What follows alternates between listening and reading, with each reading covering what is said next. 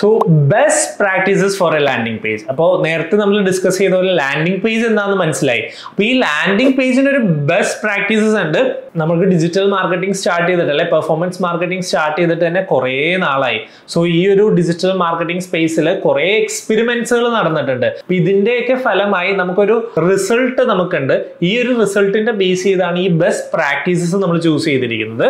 So let see let's move on to the screen and let see what are the best practices for a landing page. Okay so first one and engaging and relevant headline എപ്പോഴും ഒരു landing പേജിന് ഒരു engaging and relevant headline വേണം. വേറെ ഒന്നും കൊണ്ടല്ല. Landing പേജിൽ വളരെ limited ഒരു യൂസർ ലാൻഡ് ചെയ്ത് കഴിഞ്ഞാൽ കാണുന്ന ആ ഒരു ഫസ്റ്റ് സ്പേസ് ഉണ്ടല്ലോ. അത് ചിലപ്പോൾ ഒരു ഫസ്റ്റ് ബാനർ ആയിരിക്കും ഒരു ലിമിറ്റഡ് കോണ്ടന്റ് ഒക്കെ ആയിരിക്കും. അപ്പൊ ഈ കാണുന്ന സ്പേസിൽ തന്നെ യൂസറിനെ ഹുക്ക് ചെയ്ത് നിർത്താൻ പറ്റുന്ന അതായത് ഹുക്കിംഗ് എലമെന്റ് ഒരു ഹുക്ക് എലമെന്റ് ഉണ്ടെങ്കിൽ നമ്മുടെ യൂസേഴ്സ് അവിടെ തന്നെ എൻഗേജ് ചെയ്ത്. അവർക്ക് വേണ്ടത് എന്താണോ അത് തന്നെ ഡെലിവർ ചെയ്യുന്ന രീതിയിൽ അവരെ അട്രാക്ട് ചെയ്യുന്ന പവർ വേർഡ്സുകൾ ഉപയോഗിച്ച് ക്രിയേറ്റ് ചെയ്യുന്ന എൻഗേജിങ് ആൻഡ് റെലവെന്റ് ഹെഡ്ലൈൻ ആണ് ഫസ്റ്റ് വേണ്ടത്.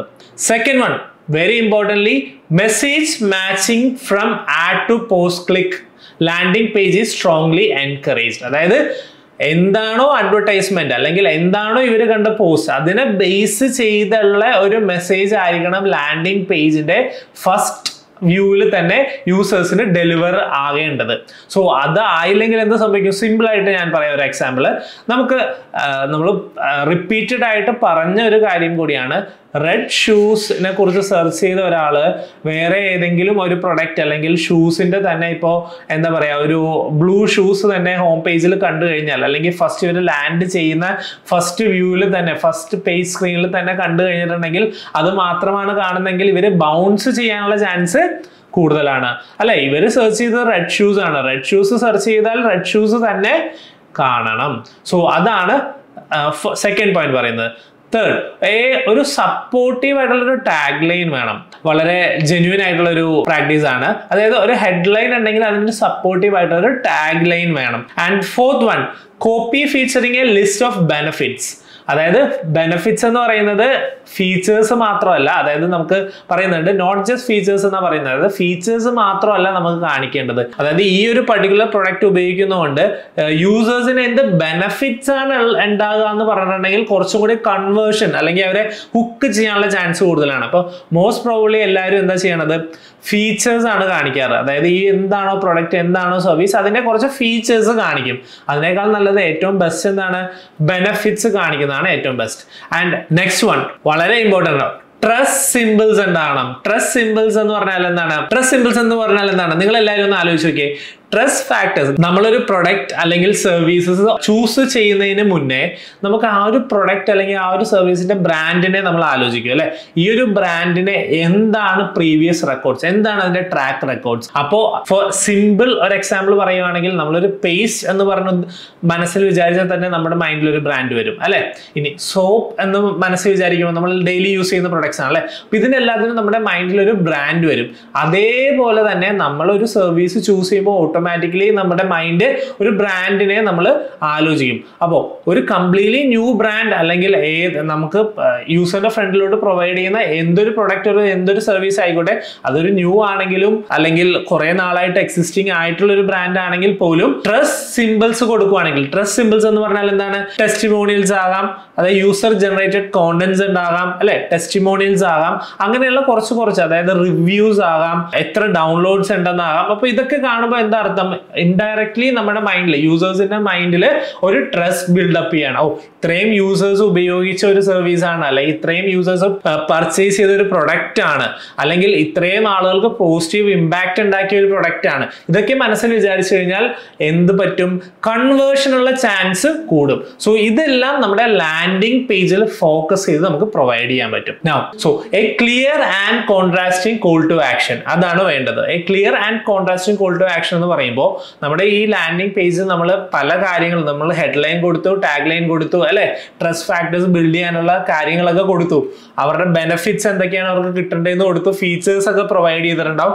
ഇതെല്ലാം നമ്മൾ കൊടുത്താലും ഇവരെ നമ്മുടെ ഗോളിലോട്ട് അല്ലെങ്കിൽ നമുക്ക് എന്താണോ വേണ്ടത് അതിലോട്ട് ഡ്രൈവ് ചെയ്യാൻ ഒരു ബട്ടൺ അല്ലെ? ഒരു ആക്ഷൻ ഇവർ എടുക്കണം. ഈ ആക്ഷൻ എടുക്കേണ്ടത് അതൊരു ക്ലിയറും കോൺട്രാസ്റ്റിംഗ് ആയിട്ടുള്ള രീതിയിൽ വേണം ഈ ഒരു ആക്ഷൻ കൊടുക്കേണ്ടത്. അതാണ് a clear and contrasting call to action അതായത് പേജിൽ ഇവർ നോക്കിയാൽ തന്നെ ഇവർക്ക് ഫസ്റ്റ് അല്ലെങ്കിൽ സെക്കൻഡ് ഈ ഒരു കോൾ ടു ആക്ഷൻ പെട്ടെന്ന് എടുത്ത് കാണണം. സോ ഇൻഡയറക്ട്ലി യൂസറിന്റെ മൈൻഡിലോട്ട് പോവും. നിങ്ങൾ ചെയ്യേണ്ടത് ഇതാണ്. സോ ആ ഒരു പർട്ടിക്കുലർ ആക്ഷനിലോട്ട് ഇവരെ ഡ്രൈവ് ചെയ്യാൻ ഇത് ഹെൽപ്പ് ചെയ്യും. So next one a lead capture form അതായത് ഇൻ കേസ് നമുക്ക് വേണ്ടത് ഒരു പർച്ചേസ് ആണെങ്കിൽ പോലും ഇൻ കേസ് ഈ ഒരു യൂസർ ലാൻഡിംഗ് പേജിൽ വന്നു കഴിഞ്ഞാൽ ഇവരുടെ ഇൻഫോർമേഷൻസ് നമുക്ക് കിട്ടാൻ അതായത് ഇവരുടെ ഡേറ്റ നമുക്ക് കിട്ടാൻ നമുക്ക് എന്ത് വേണം? ഒരു ലീഡ് ക്യാപ്ചർ ഫോം കൊടുക്കണം. അപ്പൊ ലീഡ് ക്യാപ്ചർ ഫോം കൊടുത്തില്ലെങ്കിൽ എന്ത് സംഭവിക്കും? ഇവർ നമ്മുടെ വെബ്സൈറ്റിൽ വന്നു ഇവർ ഇൻട്രസ്റ്റഡ് ആണ് കോൾ ടു ആക്ഷൻ ക്ലിക്ക് ചെയ്ത് പോയില്ല എന്ന് വിചാരിക്കുക. ബട്ട് ഒരു സ്ക്രോൾ ചെയ്തപ്പോൾ ഇവർക്ക് കുറച്ചും കൂടി കൂടുതൽ കാര്യങ്ങൾ ഈ പ്രൊഡക്റ്റിനെ കുറിച്ച് അറിയണം. അതായത് ഒരാളോട് സംസാരിക്കണം എന്നുള്ളൊരു തോന്നലുണ്ട്.